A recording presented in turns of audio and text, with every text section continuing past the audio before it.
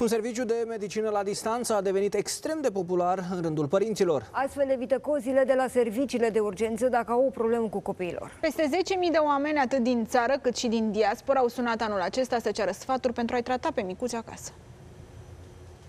De unde sunați? Da. Ce vârstă are? Greutate? De ce ați sunat? Cea mai mare febră cât? Serviciul de call center Aloped este destinat urgențelor pediatrice și este gestionat de medicii de la Spitalul Clinic de Urgență pentru Copii din Cluj-Napoca. Anul acesta a reușit să ajute aproape 10.000 de copii care astfel nu au mai stat ore în șir pe holurile unităților medicale alături de părinții lor. Evaluăm când este cel mai bine a se prezenta la medic. Pentru că marea majoritate a problemelor copiilor sunt de obicei infecții care au evoluție autolimitată, adică trec de la sine Febra a fost cel mai frecvent motiv de solicitare a sfatului medical, un sfert dintre apeluri fiind despre asta. Părinții au cerut recomandări și despre problemele digestive, vărsături, diaree sau durere abdominale.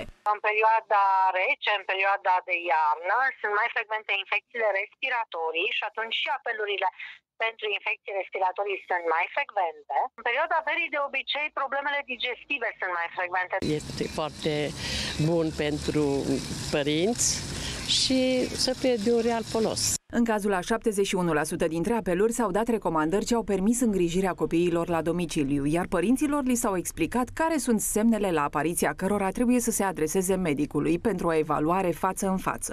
A plâns noaptea sau de când? De când îl doare urechea? De 3 ori pe zi câte 8 ml la 8 ore interval. Numărul de apeluri este aproximativ dublu față de uh, primii ani ne menținem la un procent între 68 și 72% de apeluri finalizate cu recomandări de îngrijire la domiciliu. Cele mai multe apeluri la acest serviciu au provenit din județul Cluj, însă o treime au fost din alte județe, dar și de la români aflați în afara graniței